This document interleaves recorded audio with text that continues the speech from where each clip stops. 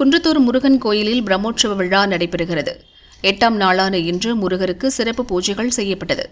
மலையிலிருந்து பல்லக்கில் கீழே அழைத்து வரப்பட்ட உற்சவர் தேரில் எழுந்தருளினார். வான வேடிக்கையுடன் தேரோட்டம் நடைபெற்றது.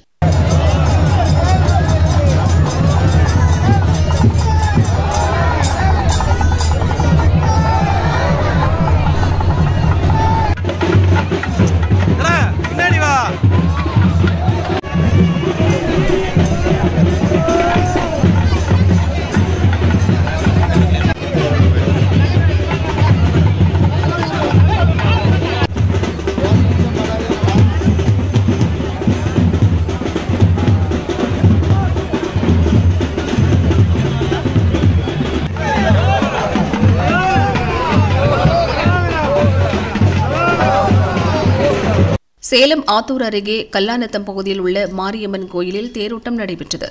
ஏற்கனவே இருந்த தேர் சேதமடைந்ததால் இருபத்தி ஏழு ஆண்டுகளுக்கு பிறகு நாற்பது லட்சம் செலவில் புதிய தேர் தயார் செய்யப்பட்டது. இருபது கிடா வெட்டி பூஜை செய்த பின் தேர் வெள்ளோட்டம் நடைபெற்றது.